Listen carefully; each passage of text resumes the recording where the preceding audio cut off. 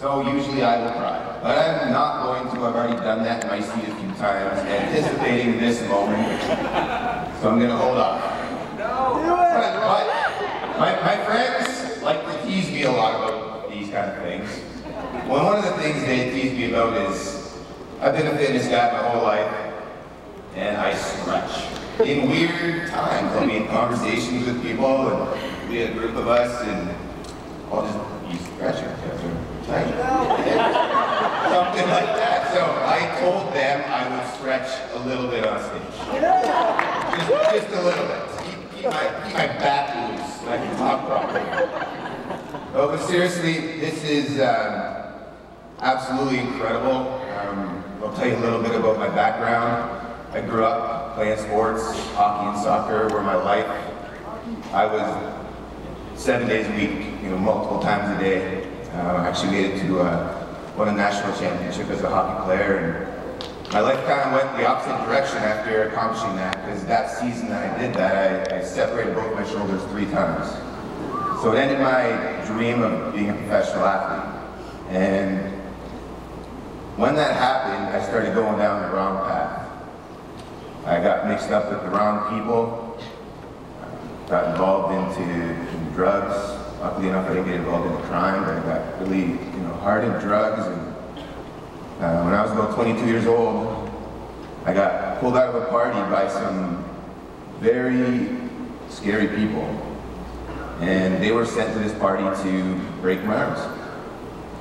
And it was the middle of winter. They dragged me out of this party and they brought me up on a mountaintop in Thunder Bay and literally kicked the shit out of me. And that point in my life was the lowest I'd ever been. And I, I remember waking up from that affair and realizing like I'm going nowhere and I need to get out of this mess. So I decided very shortly after that to leave that city with nothing. I just left, actually with a hockey bag full of clothing, and moved to Ottawa to start my life over again. I tried to go to school. School was never my forte. I love to learn, but not in the school atmosphere.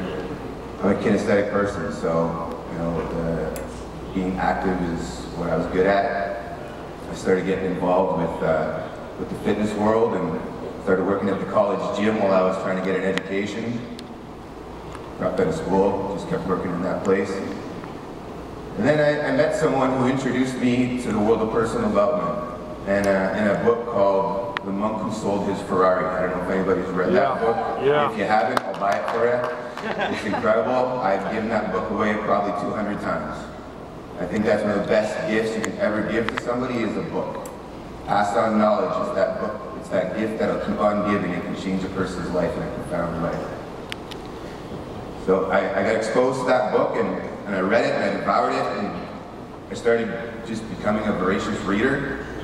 Um, now I have books every single place you could possibly look. I have them in my bags, I have them by my toilet, I have them by my bed, I have them in my kitchen, I have them by my computer, I have them in my car, I have them everywhere. Is that I believe the more you expand your mind, that's where you'll find the things that other people don't have. And you, and you look,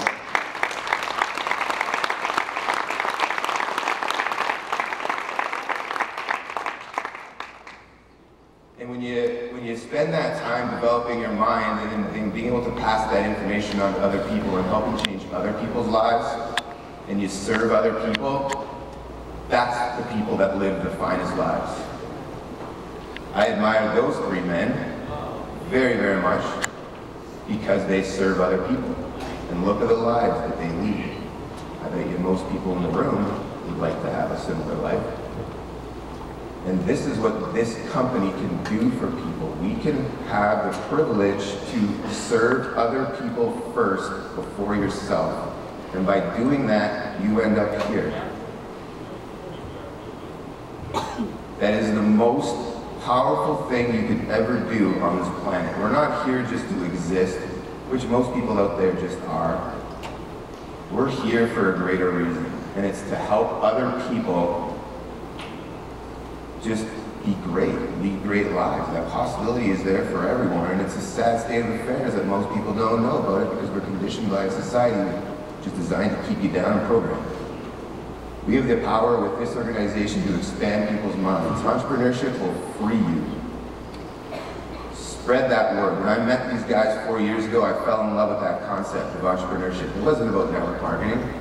It's nothing about network marketing. It was about entrepreneurship. Teaching people how to be free thinkers and develop their own life by design. And that is a concept that I was like, instantly I fell in love with it. It just wasn't the right time. I tried to recruit Jay into that business at that time. He just wasn't having it. And it wasn't ready. And it's a great thing he wasn't ready because we wouldn't be in this situation now. Everything happens for a reason, right?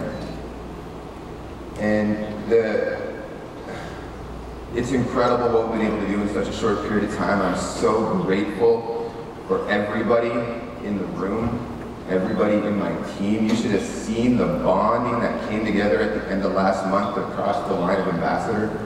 We had $50,000 in volume in four days.